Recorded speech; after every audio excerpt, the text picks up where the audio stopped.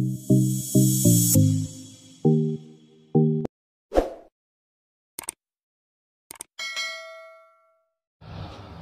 Proportion क्या है जी? हमने एक्सरसाइज सिक्स ए में रेशो के मतलब पढ़ा था। रेशो क्या होती है?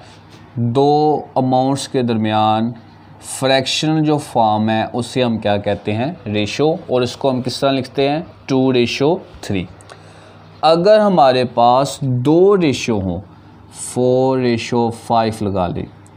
और ये दो रेशो जो हैं, आपस में बिल्कुल इक्वल आ रही हों तो उसे हम क्या कहते हैं? प्रोपोर्शन और इसे हम किससे रिप्रेजेंट करते हैं? फोर डॉट से। रेशो को टू डॉट से और प्रोपोर्शन को फोर डॉट से। जिस तरह रेशो जो है या टू डॉट जो है, इसका मतलब जो है वो डिवाइड भी होता है। इसी तरीके से जो फोर डॉट्स हैं, इसका मतलब क्या होता है? इक्वल तो यानी ये दो रेशो एक रेशो हमारे पास ये है, एक रेशो हमारे पास ये है। तो जब ये दो रेशो आपस में इक्वल आ जाएँ तो उसे हम क्या कहते हैं? प्रोपोर्शन अब इस रेशो में, जिस तरह इसी को लिख लें two ratio three proportion four ratio five अब इसमें ये जो बाहर वाली टर्म्स हैं, इनको कहते हैं एक्सट्रीम और ये जो अंदर वाली दो टर्म्स हैं, इसको हम कहते हैं मीन ये हमारे पास बाहर की तरफ़ हैं तो इसलिए हम इसे एक्सट्रीम और ये हमारे पास मिड में है, दरमियान में है, इसलिए हम इसे क्या कहते हैं मीन यानी एक्सट्रीम प्रोपोर्शन एंड ये मीन प्रोपोर्शन उसके बाद है जी कंटिन्यूड प्रोपोर्शन कंटिन्यूड प्रोपोर्शन से मुराद ये है कि अगर हमारे पास दो रेशो इस तरीके से हैं three ratio four proportion four ratio five तो ऐसी दो रेशो जिनमें ये जो मीन वाली टर्म्स हैं, ये एक जैसी हों तो उसे हम क्या कहते हैं कंटिन्यूड प्रोपोर्शन और इसको हम इस तरीके से भी पा सकते हैं। Three ratio four ratio five. तो इस तरह की जो रेशो प्रपोशन होगी, उससे हम क्या कह देंगे? कंटिन्यूड प्रपोशन उसके बाद है जी क्रॉस प्रोडक्ट। क्रॉस प्रोडक्ट कहते हैं कि एक प्रोपोर्शन में प्रोडक्ट ऑफ़ एक्सट्रीम, यानी इनको आपस में मल्टीप्लाई कर दें और प्रोडक्ट ऑफ़ मीन इनको आपस में मल्टीप्लाई कर दें और इन दोनों अमाउंट के दरमियान इक्वल का साइन ले आएँ।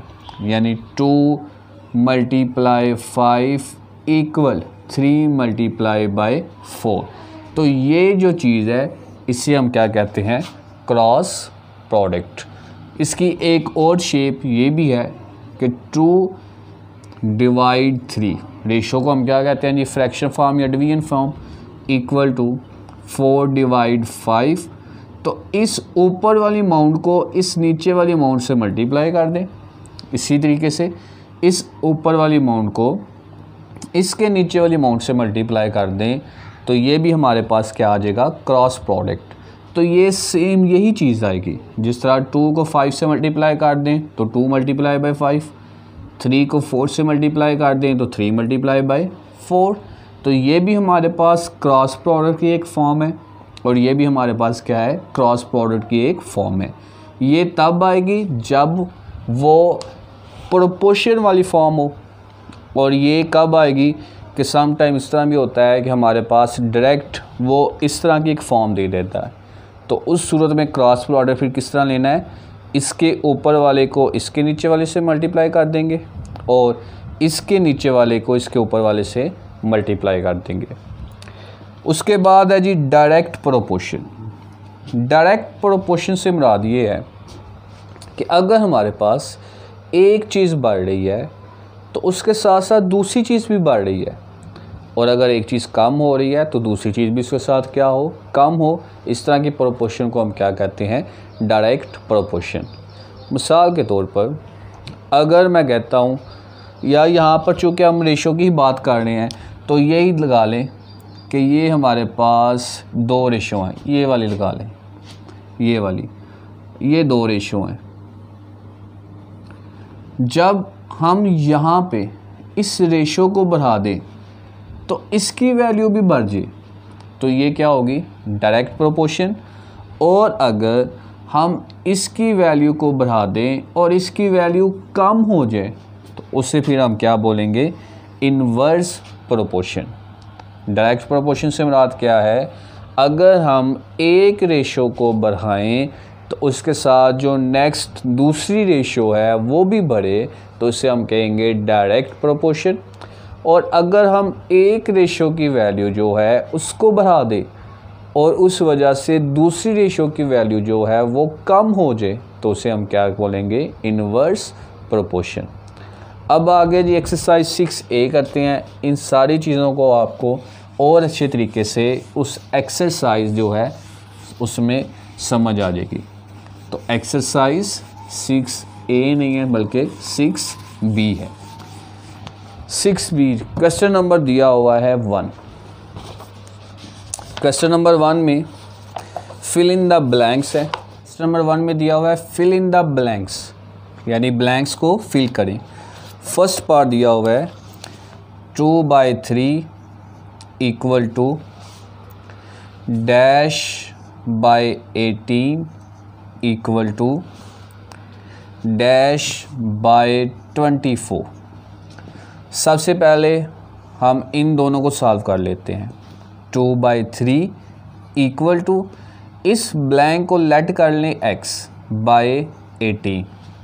अभी मैंने पीछे क्रॉस मल्टीप्लिकेशन में बताया था कि हम अगर फ्रैक्शन वाली फॉर्म हो तो इसको किस तरह क्रॉस मल्टीप्लाई से सॉल्व कर सकते हैं? इसके ऊपर वाले को इसके नीचे वाले अमाउंट से मल्टीप्लाई कर दें, इसके ऊपर वाले को इसके नहीं सॉरी इसके नीचे वाले को उसके ऊपर वाले से। तो ये आ जाएगा two by two multiply by eighteen equal to three multiply X जो चीज़ फाइंड करनी हो, उसको इक्वल के एक साइड पर अकेला छोड़ देते हैं। बाकी सारी चीज़ों को पकड़े दूसरी साइड पर ले थ्री यहाँ पे मल्टीप्लाई हो रहा है, इधर आकर क्या हो जाएगा? डिवाइड तो two multiply eighteen by three equal to X three one ज़ा थ्री थ्री सिक्स ज़ा एटीन सिक्स टू ज़ा ट्वेल्व तो यहाँ पर हमारे पास फिर क्या आ गया? ट्वेल्व अब जी, इन दोनों को यहाँ पे लेट कर लें। तो ये हमारे पास आ जाएगा twelve by eighteen equal to. दोबारा इस चीज़ को फाइंड करना है, लेट कर लें X. Twenty four by cross multiply. Cross multiply करेंगे? तो ट्वेल्व मल्टीप्लाई हो जाएगा ट्वेंटी फोर से और एटीन मल्टीप्लाई हो जाएगा एक्स से। एटीन यहाँ पे क्या हो रहा है? मल्टीप्लाई।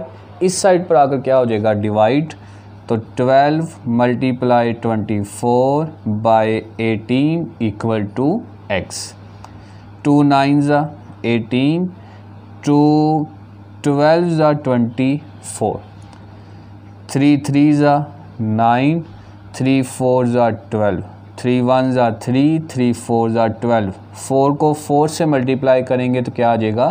सिक्सटीन यानी यहाँ पे हमारे पास फिर क्या आ गया? सिक्सटीन ये ट्वेल्व और ये सिक्सटीन उसके बाद ही आगे सेकंड पार्ट है। सेकंड पार्ट देखें जी। सेकंड पार्ट में गिवन है two by seven equal to six by dash ये फाइंड करना है। Equal to dash by sixty three तो ये दो चीज़ें हमने फाइंड करनी है। सबसे पहले हम इन दोनों को सॉल्व करते हैं। Two by seven equal to six by ये जो खाली जगह है, इसको आप क्या लेट कर लें? एक्स क्रॉस मल्टीप्लाई टू को एक्स से सेवन को सिक्स से। Two multiply X equal to six multiply by seven two को एक्स से मल्टी ये सॉरी एक्स यहीं पर रहेगा six multiply seven two multiply हो रहा है, इधर आकर क्या हो जाएगा डिवाइड टू वन ज़ा टू टू थ्री ज़ा सिक्स थ्री सेवन ज़ा ट्वेंटी वन एक्स की वैल्यू क्या आ गई ट्वेंटी वन यहाँ पर हमारे पास आ गया ट्वेंटी वन अब जी, इन दोनों को सॉल्व कर ले. Six by twenty one equal to ये हमने फाइंड करना है, इसको लेट कर लें X by sixty three cross multiply six को मल्टीप्लाई किया सिक्सटी थ्री से और ट्वेंटी वन को मल्टीप्लाई किया एक्स से.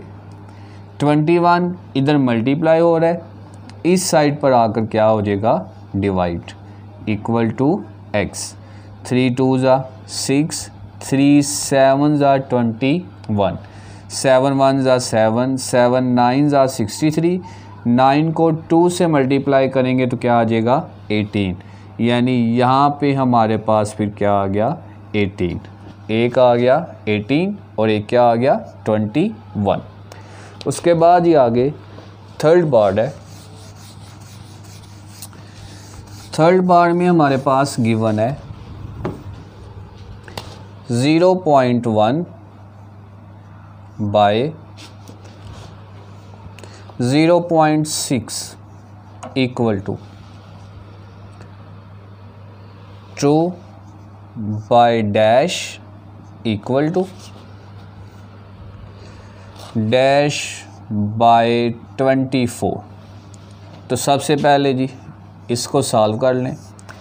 Zero point one over zero point six equal to two by dash. ये फाइंड हमने करना है, इसको क्या लेट कर लें? X cross multiply, zero point one को मल्टीप्लाई करेंगे एक्स के साथ और ज़ीरो पॉइंट सिक्स को मल्टीप्लाई करेंगे टू के साथ। तो यहाँ पे पॉइंट ख़त्म करते जब पॉइंट ख़त्म करेंगे तो ये आ जाएगा one by ten multiply X या ज़ीरो पॉइंट वन मल्टीप्लाई हो रहा है, इधर आकर क्या हो जाएगा? Divide zero point six multiply two divide zero point one.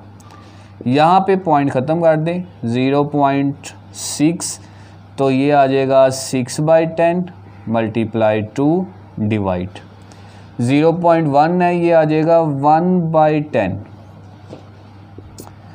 Two one ज़ा, टू टू फाइव ज़ा, टेन, ये आ गया सिक्स। बाई फाइव और डिवाइड के बाद डिवाइड हो तो मैथ्स का रूल है, वो रकम उल्ट होकर मल्टीप्लाई हो जाएगी। यानी वन बाई टेन था, क्या बन गया? टेन बाई वन उल्ट होकर क्या हो गई? मल्टीप्लाई तो फाइव इसको मैं यहाँ पे लिख देता हूँ। Six by five multiply ten by one five one ज़ा फाइव फाइव टू ज़ा टेन एंड टू सिक्स ज़ा ट्वेल्व। तो ये हमारे पास यहाँ पे क्या आ गया फिर? ट्वेल्व। अब इन दो को सॉल्व कर लें। Two by twelve, two by twelve equal to ये हमारे पास ब्लैंक है, इसकी जगह हम लेट कर लेते हैं X by twenty four cross multiply करने से two multiply twenty four equal to twelve multiply by X. Twelve वहाँ पे मल्टीप्लाई हो रहा है, इधर आकर क्या हो जाएगा, डिवाइड। ट्वेल्व वन ज़ा ट्वेल्व ट्वेल्व टू ज़ा twenty four and two two ज़ा फोर। तो यहाँ पे हमारे पास फिर क्या आ गया, फोर। उसके बाद ही आगे फोर्थ पार्ट है। फोर्थ पार्ट में उसने दिया हुआ है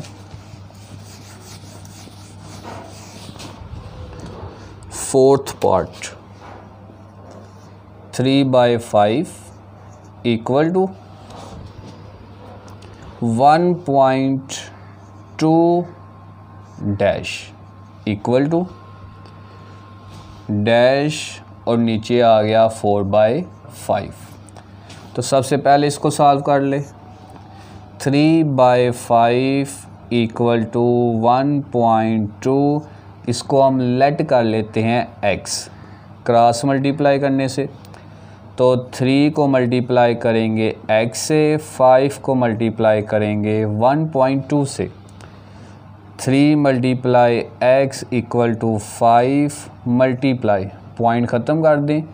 Twelve by ten five one ज़ा फाइव फाइव टू ज़ा टेन टू वन ज़ा टू टू सिक्स ज़ा ट्वेल्व तो ये आ गया X equal to three multiply हो रहा है, इधर आके क्या हो जाएगा? डिवाइड ऊपर बच गया सिक्स नीचे क्या बच गया? थ्री थ्री वन ज़ा थ्री थ्री टू ज़ा सिक्स तो ये हमारे पास क्या आ गया? टू अब हम इसी से को लेट कर लेते हैं। तो ये आ जाएगा one point two by two equal to इसको एक्स कह लें five by four cross multiply करने से वन पॉइंट टू मल्टीप्लाई होगा फाइव बाई फोर से और टू मल्टीप्लाई होगा एक्स से। पॉइंट ख़त्म कर दें तो ये बन जाएगा twelve by ten multiply five by four. Four one ज़ा फोर फोर थ्री ज़ा ट्वेल्व, फाइव वन ज़ा फाइव फाइव टू ज़ा टेन। ये बन गया थ्री बाई टू और टू मल्टीप्लाई एक्स और यहाँ पे टू मल्टीप्लाई हो रहा है, इधर आकर क्या हो जाएगा? डिवाइड थ्री से ये डिवाइड ही हो रहा है, लेकिन जो नीचे वाली अमाउंट ऑलरेडी मौजूद है, उससे क्या होगा? मल्टीप्लाई तो ये बन गया X equal to three by two two ज़ा फोर ये हमारे पास यहाँ पर क्या आ गया? थ्री बाई फोर उसके बाद इसका लास्ट वाला पार्ट है फिफ्थ पार्ट फिफ्थ पार्ट भी देख लें जल्दी से. फिफ्थ पार्ट में उसने दिया हुआ है। Dash by five equal to one by four equal to zero point five by dash इसको लेट कर ले जी पहले। हमेशा दो जो फ्रैक्शन है, उसको लेट करना है। तो इसको हम लेट कर लेते हैं x by five equal to one by four cross multiply कर दें। X मल्टीप्लाई होगा फोर के साथ और फाइव मल्टीप्लाई होगा वन के साथ। फाइव वन ज़ा फाइव ही आएगा। ये फोर यहाँ पे मल्टीप्लाई हो रहा है, उधर जाकर क्या हो जाएगा? डिवाइड तो ये हमारे पास आ गया फाइव बाई फोर उसके बाद अब इसको लेट कर ले। One by four equal to zero point five और इसको लेट कर लें एक्स।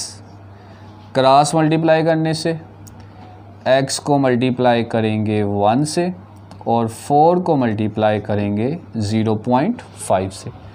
एक्स वन ज़ा एक्स ही आएगा। फोर पॉइंट ख़त्म कर दें तो five by ten, five one ज़ा फाइव फाइव टू ज़ा टेन। टू वन ज़ा टू टू टू ज़ा four X equal to two तो यहाँ पे हमारे पास क्या आ गया टू बाकी जो क्वेश्चन है वो इंशाल्लाह कल से ही। अल्लाह हाफिज़।